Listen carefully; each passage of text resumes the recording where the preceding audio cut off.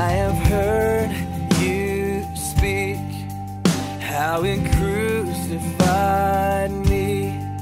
And now the life I live is all in you.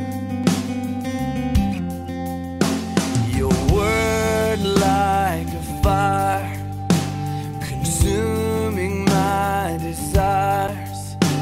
Now all that is inside will shine. Let us run that the world would call your name. Oh, sing to the Lord and give him praise. Let your glory fill the earth like waters cover the sea. Let your glory fill the earth. You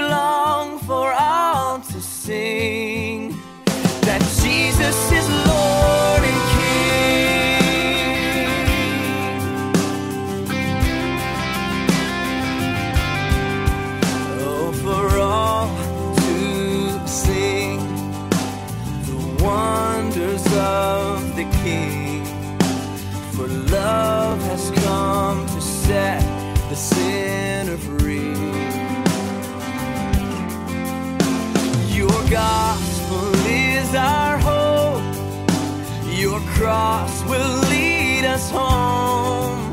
Father, give us hands of grace and beautiful feet.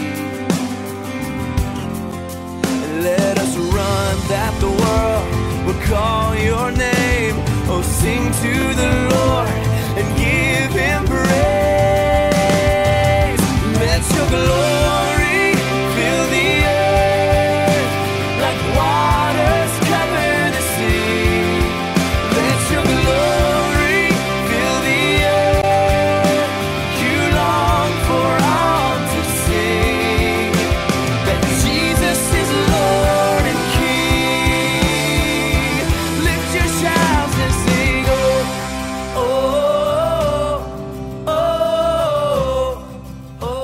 wants us to know who we are and more importantly, whose we are. And when we know that, then we will begin knowing what we're living for and why we exist. You see, it says in 1 John 4:16, and so we know and we rely upon the love that God has for us.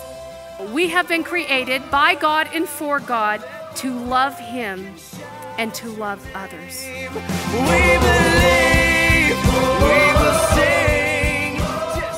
Can't control a lot of things, but every single day you get to choose whom you will follow and the attitude that you will take with you. But when we live according to the bigger picture, we believe that God sees the finished product and that every piece, every trial, every hardship has been designed to fit this picture.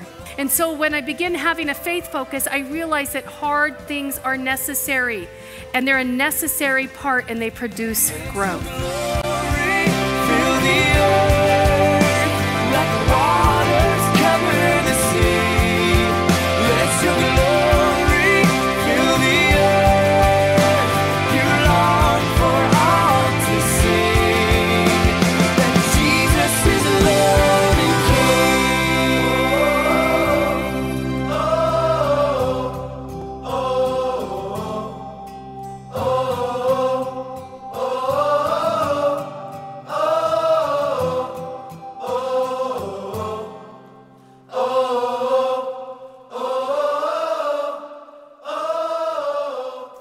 8 to 8.